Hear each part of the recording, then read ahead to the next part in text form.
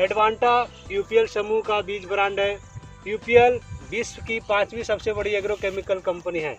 हम पहली भारतीय बहुराष्ट्रीय बीज कंपनी है और छियासठ से ज़्यादा देशों में हमारी उपस्थिति है। एडवांटा शोध केंद्रित बीज कंपनी है, जो नित्य नवीन एवं उच्च क्वालिटी के बीज किसानों को उपलब्ध कराती है। हमारी प्रमुख फ़सलें हैं हाइब्रिड धान, मक्का, सरसों, सूरजमुखी, ज्वार बाजरा, सब्ज़ी एवं हरी चारा की फ़सलें। यह फ़सल 135 दिनों का होता है और यह अब तैयार हो चुका है।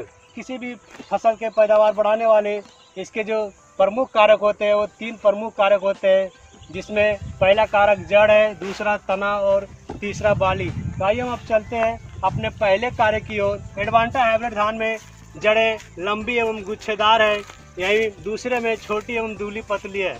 तो किसान भाइयों, जड़ लंबी होने से जो आपको फ़ायदा है, वह यह है कि आप जो भी इस खेत में खाद्य पदार्थ देते हैं, उसका भरपूर अवशोषित करके पौधे को मज़बूत एवं हरा भरा रखता है। दूसरा फ़ायदा आपको यह मिलता है कि धान गिरता नहीं है और तीसरा फ़ायदा है, जड़ मज़बूत होने से इसमें आने वाले कल्ले एवं बालियाँ पुष्ट, दाने पुष्ट होते हैं एवं कल्ले की संख्या अधिक होती है।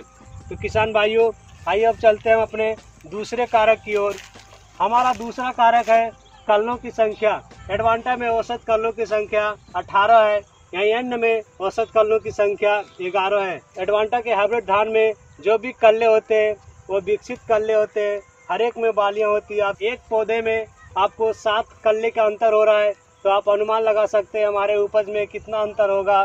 जैसा कि हम जानते हैं, एक एकड़ में लगभग एक लाख तैंतीस हज़ार पौधे होते हैं।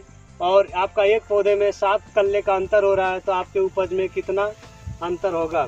किसान भाइयों, आइए चलते हम अपने तीसरे कारक की ओर। एडवांटा के हाइब्रिड धान में औसत दानों की संख्या 305 है। यहीं अन्य में औसत दानों की संख्या 280 है।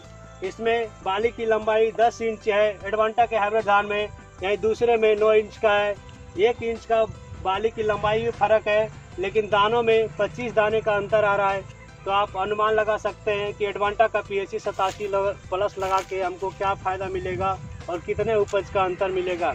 अभी आप भी देख सकते हैं, इन्होंने कहा कि इसमें दाने की संख्या अधिक है, बाली की लंबाई अधिक है, पौधे गिरते नहीं हैं। आप अपने किसान भाइयों को अपने प्लॉट पे लाएँ और दिखाएँ पी एच सतासी, चालीस प्लस के उपज के बारे में। अगर उन्हें अच्छे लगे तो अगले सीज़न में इनकी बुआई करें। सतासी, चौवालीस प्लस बहुत बढ़िया धान है।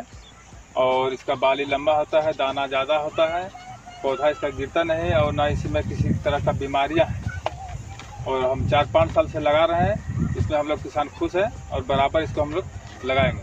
मैं पिछले साल पी एस सी सतासी चौवालीस प्लस लगाए थे, एक एकड़ में, उसमें लग, उनको तीस कुंटल धान उपज पाया। और ना इसी, किसी तरह का इसमें बीमारी था, और न किसी, कम खर्चा में हमारा उपज हो गया। और किसान भाई से कहते हैं कि ज़्यादा से ज़्यादा इसको लगाएँ और इस धान लगाने से बेनिफिट है, खाने में बहुत स्वादिष्ट है, लंबा दाना चावल इसका है और हमने फिर इन साल लगभग दो एकड़ के लगभग लगाएँगे ताकि इससे हमें कम खर्चा में ज़्यादा उपज पाते हैं और किसान वैसे कहते हैं कि ज़्यादा से ज़्यादा इसको लगाएँ। मेरा मेरा नाम है पानो माथो मैं, मेरा घर है धमातरी, हम रहने वाला है गिरिजी सतासी चौवालीस लगाए हैं। बढ़िया उपज है, बढ़िया है। घंटा का धान सतासी चौवालीस प्लस हम लगाए थे तीन एकड़ में। उसमें एक एकड़ में उपज हुआ, इकतीस क्विंटल पैदा हुआ। इन साल लगाने वाला है हम लोग पाँच एकड़ में। उसमें कोई रोग पाप नहीं हुआ। चावल खाने में भी बहुत अच्छा है।